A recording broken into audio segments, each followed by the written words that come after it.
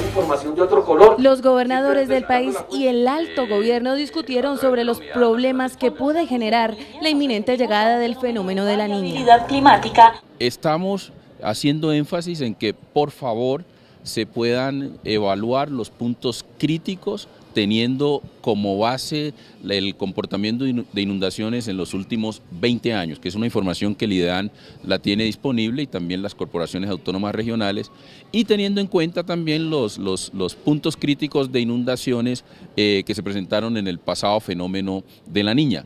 Y con esa información poder preparar los planes de contingencia y hacer una revisión del estado actual de esos puntos críticos con las comunidades de la zona. El mismo IDEAN el Fondo de Adaptación y la Dirección Nacional de Gestión de Riesgo eh, han expuesto ante los gobernadores eh, toda la caja de herramientas con la que se cuenta en este momento para enfrentar esa contingencia y de esta manera poder eh, reducir el riesgo. Van a permitir en la cumbre de gobernadores se analizaron las consecuencias de este fenómeno natural, las zonas que pueden resultar afectadas y las medidas que se deben tomar al respecto.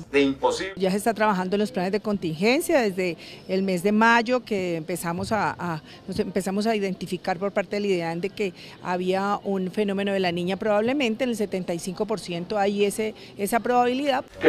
Desde los departamentos los mandatarios regionales ya empiezan a trabajar en los de contingencia para mitigar este fenómeno.